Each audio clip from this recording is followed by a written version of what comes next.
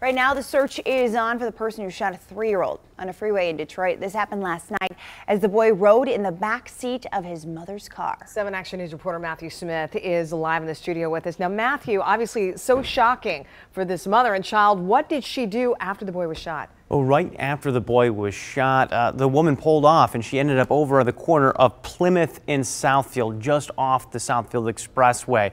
Uh, he had to be rushed to the hospital. He wasn't breathing at one point in time. But what we do know is that police say that he was in such bad shape. He's in critical condition.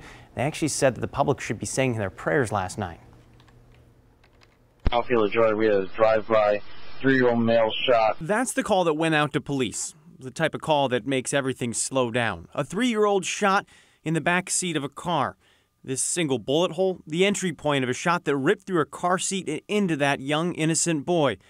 By the time ambulances arrived, he wasn't breathing. Uh, he was unresponsive at the hospital, had to be revived, but they did revive him, so that's a good sign for us. Um, we're going to let mom deal with that for a little bit before we really get into inter interviews and things like that with her. Police tell us they've been working to narrow down who could have pulled the trigger, but with a single shot, they don't think this looks like a road rage incident. A car, a suspect, nothing is known right now. Investigators hoping the mother will figure out who may have done this, who might have been angry with her. But right now, they're poring over video of the Southfield Freeway in hopes of locating something caught on camera between where she got on and where her little boy was ultimately shot. Unfortunately, there are no green light cameras in that area, so they don't have great video evidence at this point in time to find something. They're hoping that that mother will be able to tell them something about maybe somebody that she knows may have been after her or her boy, although it seems hard to believe.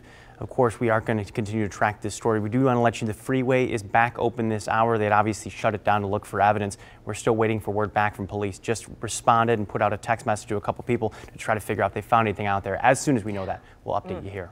Poor boy.